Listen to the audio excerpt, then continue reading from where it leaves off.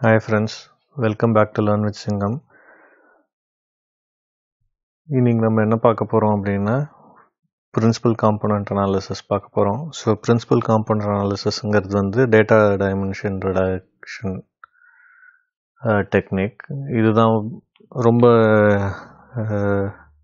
நிறைய யூஸ் பண்ணுற டெக்னிக் இது. ஸோ இப்போ வந்து உங்ககிட்ட ஒரு எக்ஸ் மேட்ரிக்ஸ் இருக்குதுன்னு வச்சுக்கோங்க. எக்ஸ் மேட்ரிக்ஸ் இருக்குது ஸோ எக்ஸ் மேட்ரிக்ஸுங்கிறது என்னென்னா என் பை எம் இருக்குன்னு வச்சுக்கோங்க. ஸோ எண்ணுங்கிறது வந்து சாம்பிள் ஸோ எம்முங்கிறது வந்து feature sets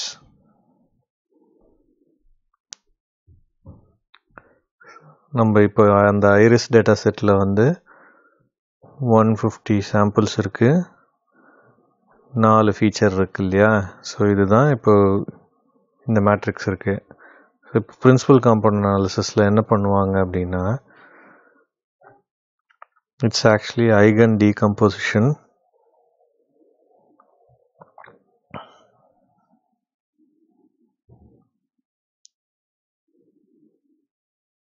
of a covariance matrix. So covariance மேட்ரிக்ஸை வந்து எக்ஸ் டிரான்ஸ்போஸ் எக்ஸ் அப்படின்னு எழுதலாம். ஸோ இந்த கோவேரியன்ஸ் மேட்ரிக்ஸ்லேருந்து என்ன பண்ணுறாங்க அப்படின்னா ஐகன் வெக்டாரும் ஐகன் வேல்யூவும் எடுப்போம். ஸோ இந்த ஐகன் வெக்டாருங்கிறது தான் ஒவ்வொரு காலத்தையும் வந்து பிரின்சிபல் காம்போனண்ட்டுன்னு சொல்கிறாங்க ஸோ இப்போ இது வந்து என் பை எம் மேட்ரிக்ஸ் இல்லையா? இதுவும் அதே கோவேரியன்ஸ் மேட்ரிக்ஸ் வந்து எம் பை எம் மேட்ரிக்ஸ் ஆயிரும். ஸோ இப்போ வந்து ஃபீச்சர் செட்டோட டைமென்ஷன் தான் இதில் இருக்கும்.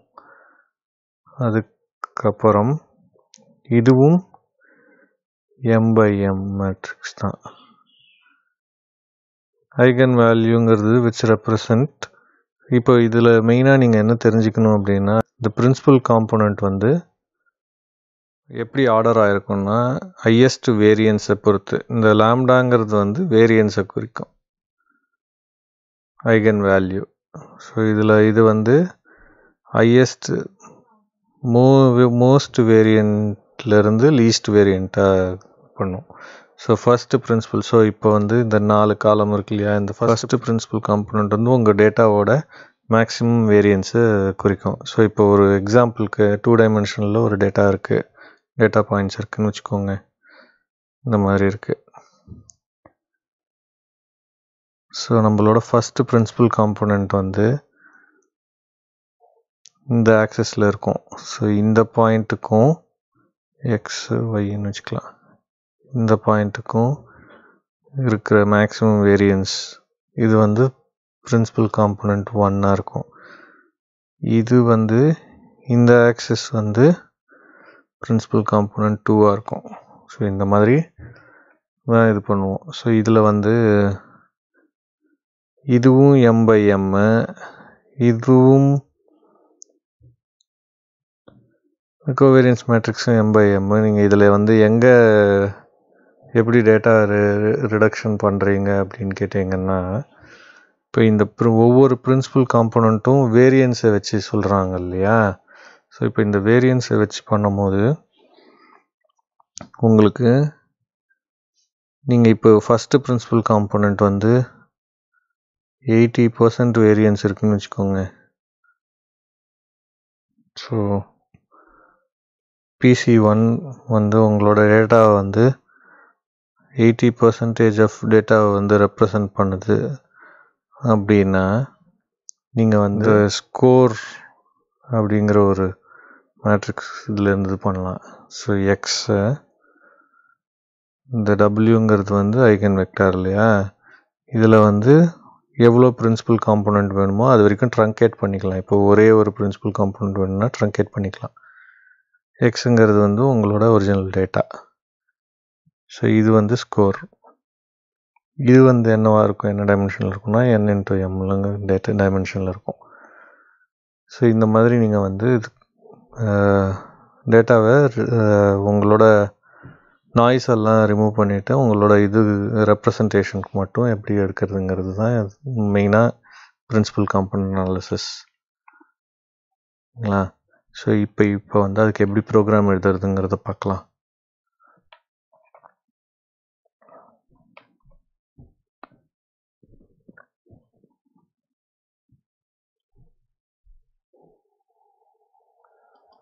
ஸோ ஃபர்ஸ்ட் வந்து இம்போர்ட் பண்ண போகிறோம் டேட்டாவை இம்போர்ட் நம் பைய முதல்ல இம்போர்ட் பண்ணிக்கிறோம். அப்புறம் import pandas SPD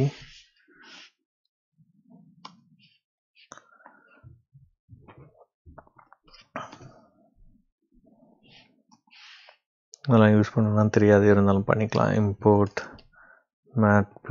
matplotlib dot pyplot splt import pylab splt import c1 as sb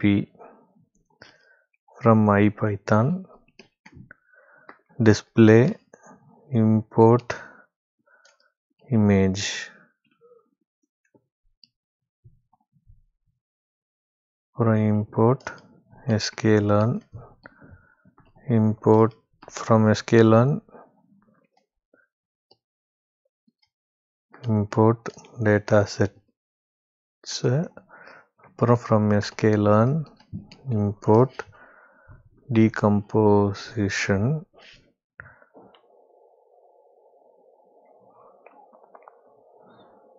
so இப்போ இங்கே வந்து import அதுக்கப்புறம் இந்த டீகம்போசிஷன் பேக்கேஜில் தான் இந்த பிசிஏ இருக்குது ஸோ அதையும் இம்போர்ட் பண்ணிக்கலாம். From sklearn dot decomposition import PCA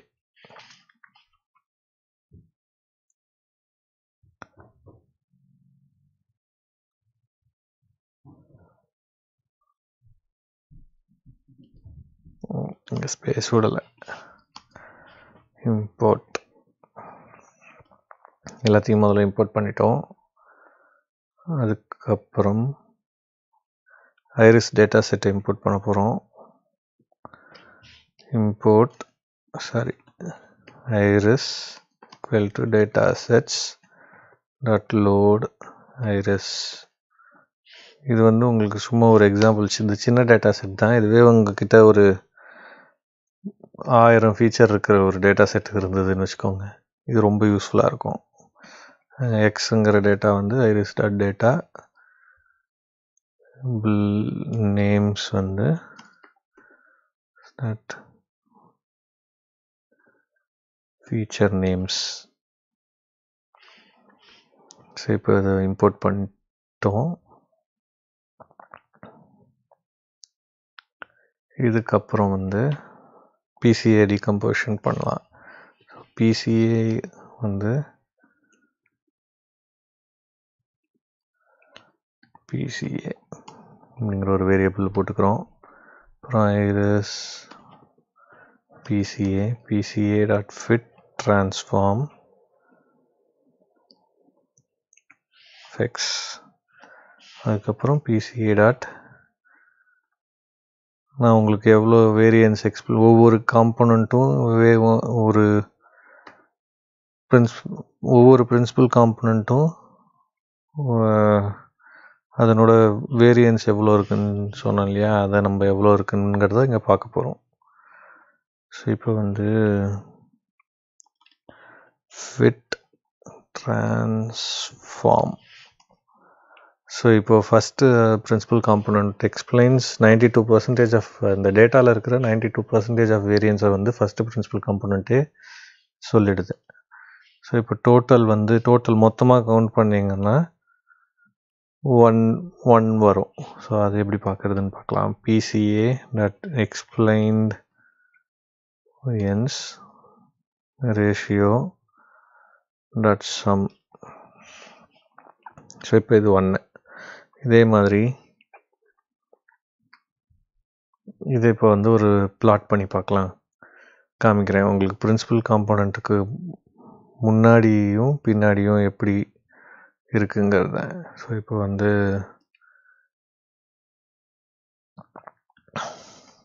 நான் ஆல்ரெடி கோடு எழுதியிருக்கேன். ஸோ அந்த கோடையை உங்களுக்கு காமிக்கிறேன். இப்போ இங்கே என்ன பண்ணுறோம் அப்படின்னா ஐரிஸ் டேட்டா எடுக்கிறோம். ஃபஸ்ட்டு வந்து பிரின்சிபல் இந்த எக்ஸ் ஆக்சிஸில் வந்து நம்ம ஒரிஜினல் ஐரிஸ் டேட்டாவோட ஃபஸ்ட்டு காலத்தையும் செகண்ட் காலத்தையும் பிளாட் பண்ணுறோம் அதுக்கப்புறம்